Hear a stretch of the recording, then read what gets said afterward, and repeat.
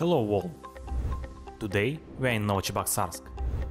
It's the second biggest town in Chuvashia Republic, 21st region of Russian Federation.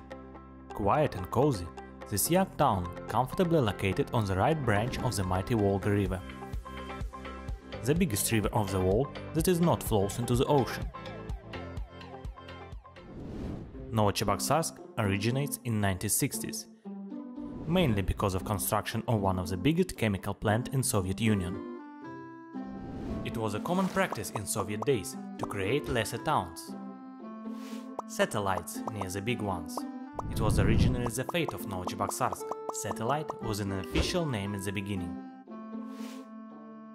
City was fastly growing and expanding, simultaneously absorbing small villages placed nearby. That assimilated villages gives names to cities blocks. For example, Yurakovo, Yelnikovo, Ivanova. In 1968 starts creation of one of the most significant city's facilities. Cheboksar's water-powered plant, one of the biggest in modern Russia.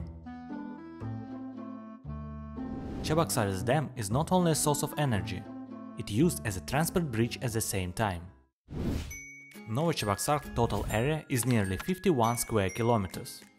The city estimated population is 126,000 people. Let's compare it to the biggest neighbor cities. Just in 17 kilometers to the west lies the capital of Chuvashia Republic, Cheboksary. Just in 82 to the north is the capital of Mari El, Yoshkar-Ola city.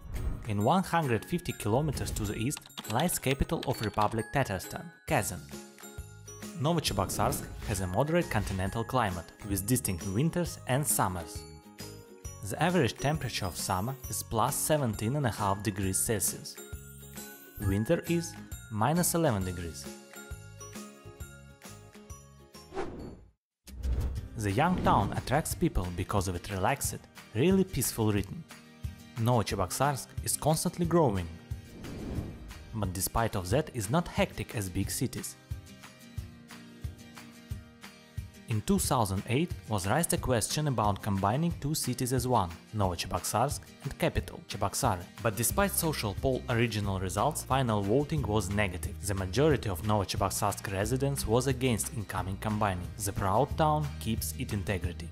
People of Novocheboksarsk are proud that their home take place on the Great Volga River. The promenade is the town's folk favorite place of peaceful walking and relaxing. The one of the unquestionable advantage of Novocheboksarsk is the abundance of trees and greens in general. The largest and best known town's park is Yelnikovskaya Grove.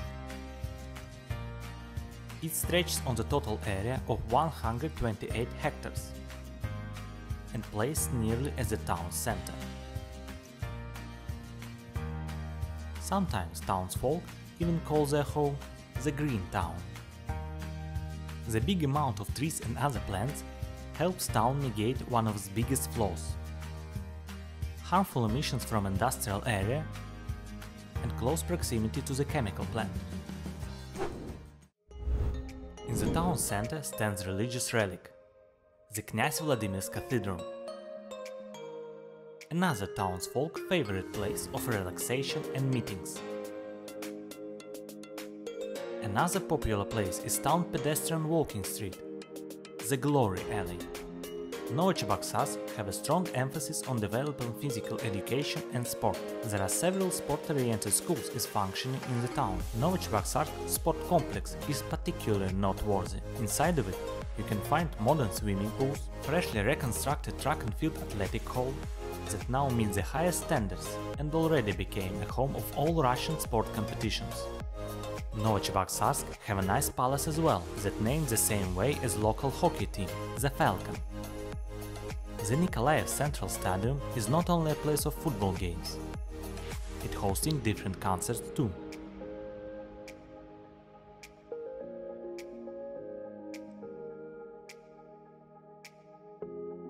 Small and not well known, but young and cozy, the green town Novocheboksarsk lies on the bank of Volga river. He's like the flow of this river itself, attracts people by peace and tranquility. Thank you very much for your support. Best regards from Hello World team.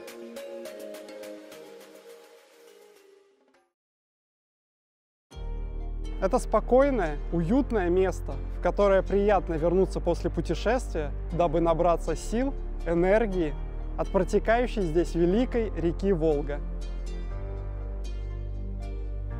Мои предки строили город на реке Волга. Сейчас в нем живу и я.